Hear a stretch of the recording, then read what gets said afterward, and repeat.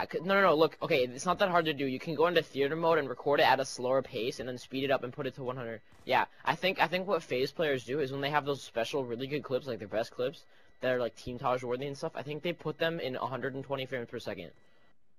That-